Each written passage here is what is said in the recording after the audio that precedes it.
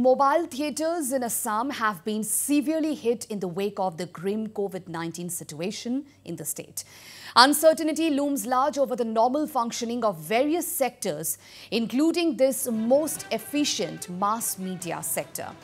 Last year, the long duration of lockdown had adversely affected normal life of the workers in the theatre groups. The condition remains to be the same this year too. As per reports, losing even a day's performance cost a financial loss of around rupees 1 lakh for a theatre group. As many as 60 theatre groups across the state employ 100 to 150 people on a yearly basis. These include artists, craftsmen, electricians, as well as the other technicians who look after the lighting and sound arrangements. And speaking to Northeast Live, Kiran Lohkar, wife of late Achut Lohkar, who was the doyen of a mobile theatre industry, said that the industry as a whole is incurring massive losses owing to the outbreak of COVID-19. ঊনৈছশ তেষষ্ঠি চনতে নটৰাজ থিয়েটাৰৰ জন্ম হৈছিল সেই সময়ত কটু theatre Nashik প্ৰথম লহকৰে থিয়েটাৰখন উলিয়াইছিল তাৰপিছত অজস্ৰ থিয়েটাৰৰ জন্ম হ'ল আৰু শিল্পীসকলৰ বাচি থকাৰ এটা পথ ওলাইছিল। আৰু সেইটো সেই গতিতে চলি থাকি শিল্পীসকলে খুব ভালকে চলি আছিল। এতিয়া আজি কভিড হোৱাৰ পিছৰ পৰা শিল্পীসকলে বৰ কষ্টকে থাকিব লগা হৈছে। তেওঁলোকৰ অন্য উপায় একো নাই। আৰু আমি ভাবিও একো কৰিব নোৱাৰো বা ৰাইজে ভাবিও একো কৰিব নোৱাৰে। চৰকাৰে ভাবিলে কিবা এটা কৰিব পাৰিলেহেঁতেন। কিন্তু আমি এতিয়া ঘৰত থাকিয়ে বা কলৈকো ওলাব নোৱাৰো একো কৰিব নোৱাৰো। পৰিস্থিতি ইমানেই বেয়া থিয়েটাৰ কৰো বুলি ক'লেও কৰিব নোৱাৰে একো কথা চিন্তা কৰিব নোৱাৰে। আৰু কি কৰিলে ভাল হয় চৰকাৰৰ লগত আলোচনা কৰিলে তেতিয়া চৰকাৰে কিবা এটা দিহা দিব। কিন্তু অসুখটোতো আৰু এইটো এই কভিড অসুখটো যিটো হৈছে সেইটোৰ পৰাতো কাৰো বাচিবৰ বা হেৰি কৰিবৰ উপায় নাইকিয়া।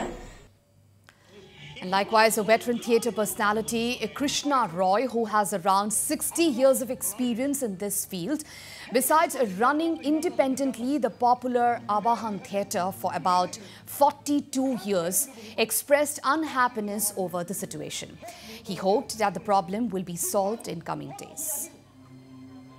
যোৱা বছৰ আচলতে আমাৰ ভ্ৰাম্যমান থিয়েটাৰৰ যথেষ্ট অসুবিধা হৈ গ'ল মানে বিশেষ কৰি তলৰ মানুহখিনি ওপৰৰ মানুহখিনি যিখিনি বেছি অলপ পইচা পাই চলিব পৰাকৈ চলি গ'ল হয়তো। কিন্তু এইবাৰ দুইটা দুইটা পাৰ্টিৰে তাৰমানে অসুবিধা হ'ব। কাৰণ ওপৰৰ মানুহখিনিও যিখিনি ধৰ দৰমহা অলপ বেছিকৈ পোৱা মানুহখিনিও এবছৰ এটাকে বহি গালে। সিবিলাকে যিখিনি কম দৰমহা পোৱা মানুহখিনি যথেষ্ট কষ্ট হ'ল। আৰু তাৰমানে নকৰিব নকৰিব লগা কামো কিছুমান কৰিব লগা হ'ল তেওঁলোকে। কাৰণ নাজানে নাজানিও কৰিব লগা হ'ল। কাৰণ পেটৰ তাৰণাত চৰকাৰকো এটা অনুৰোধ জনাইছো যে তেওঁলোকে অন্তত তলৰ মানুহখিনিক যোৱা বছৰ যথেষ্ট পইচা অলপ সহায় কৰিছে। প্ৰায় আমাৰ হাজাৰ শিল্পীক পঞ্চাছ হাজাৰ কৰি টকা দিছে। এইবাৰো তাৰমানে যিবিলাকে নাপালে কিছুমানেতো বহুতেই নাপালে কিন্তু কিছুমানেহে পালে। সেইখিনি এইবাৰো যদি নহয় এতিয়াও হোৱাৰ কিন্তু হেৰি সময় আছে কাৰণ মে মাহটোত যদি বাঢ়ি পেলাই জুন মাহত কমি যায় কমি কমি যায় লাহে লাহে কমি যায় জুলাইৰ পৰা আৰম্ভ কৰিব পৰা যাব Meanwhile, a noted theatre personality and producer of Kohinoor Theatre, Tapan Lohkar, also expressed concern over the situation. কৰোণাৰ পৰিস্থিতিটোৰ কাৰণে দুহেজাৰ বিছ একৈছ নাট্যবৰ্ষটো ভ্ৰাম্যমান নাট্যবৰ্ষটো কোনো থিয়েটাৰে কৰিব নোৱাৰিল গোটেই পৰিস্থিতি ভয়াৱহতাৰ কাৰণে।